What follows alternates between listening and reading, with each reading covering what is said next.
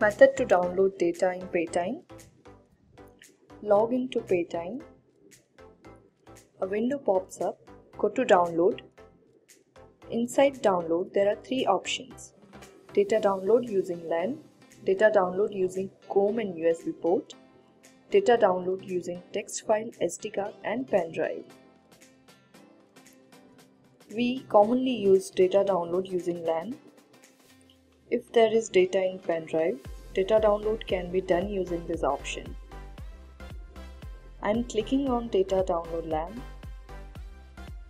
On left column, check on the name of your device to download data. Click on data download. There are two columns event, log and error logs above. After the process is complete, in the event log you will see downloading complete. Now go to download and click on data receipt.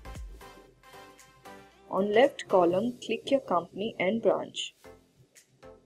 Check on department and employee ID on the right. Click on start process. A window pops up process complete, click OK.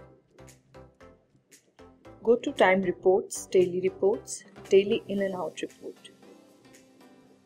Check on the department name and mark report from your desired date. Top left, there is two option on window and print preview.